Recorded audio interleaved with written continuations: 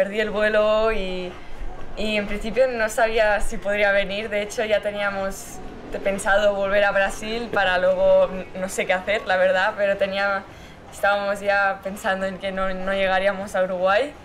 Pero bueno, em, tenemos mucha suerte que, que pues hay gente que nos ha ayudado y al final hemos podido coger un vuelo a las once y media y luego tenía que jugar por la noche, pero también tuve que dormir en el aeropuerto, en el suelo. Nunca lo había hecho, espero no volver a hacerlo, pero, pero bueno, em, fue... No pensé que jugaría tan bien, además eh, otro país, otras sensaciones, otras pistas, el viento también fue un poco incómodo, por la noche no veía bien, no, tenía los ojos cerrados y no, no podía ver bien, digo, no, no voy a ganar, no, no, puedo, ¿cómo voy a hacer esto? Además, la número uno me ha tocado, pero bueno, eh, he solucionado los problemas, eh, he intentado estar tranquila porque me dije, si no estás tranquila no vas a poder ganar, ya tienes suficientes problemas como para no estar tranquila. Y, bueno, pues al final he jugado muy bien, a, pesar de todas las condiciones, y estoy muy contenta de que he ganado. Yo sabía que sería muy buen partido porque esta chica juega muy bien y ha hecho muy buenos resultados. Y bueno, pero yo también vengo con mucha confianza, vengo de ganar un torneo y al final ganar siempre da mucha confianza.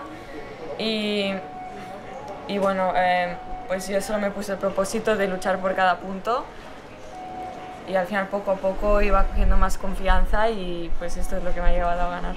Sí, yo creo que sí que llegó por mi padre, eh, él fue un jugador de tenis y fue profesional pero lo dejó muy joven, creo que con 24 o 23 años más o menos y él no se lo tomó muy en serio. Em, le gustaba mucho, pero no veía que no iba bien la cosa.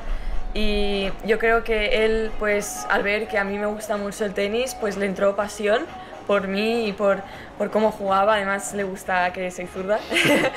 y, y bueno, y poco a poco pues íbamos quemando etapas. Primero jugaba por Andorra, luego ya empezaba a jugar por Barcelona, Cataluña, España, Europa y luego ya el mundo, luego sub-14, sub-16, con, con 11 años quedé de campeona de sub-14 y así iba creciendo hasta llegar a ITF y, en ITF pues con 13 años gané mi primer ITF y así durante todo el año gané 6 ITFs hasta llegar a grado A, iba subiendo cada vez, grado 4, grado 3, ganaba.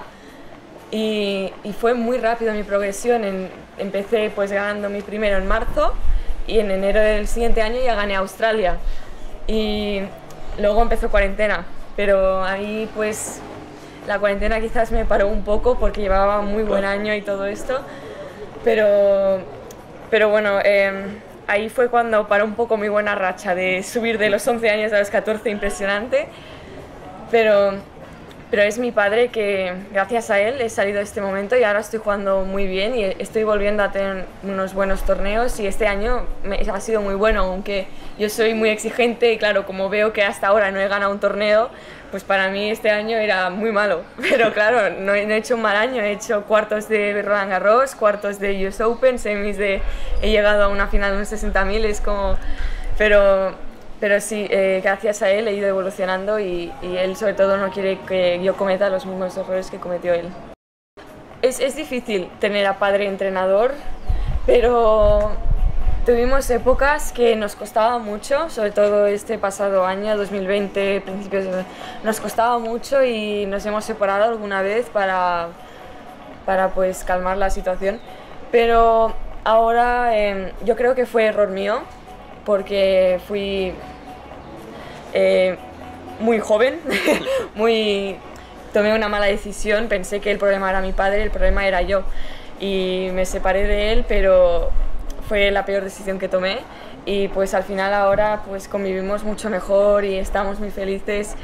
Y, y bueno y sobre todo que no, ahora ya hemos aprendido a, a cómo tratar los dos juntos. Y ahora me veo con mucha confianza, me veo jugando muy bien y tengo sobre todo un equipo impresionante y familiares y toda mi familia es, me apoya y entonces yo creo que tengo la base hecha para poder el siguiente año pues tener triunfos. Yo creo que va a ser un buen año.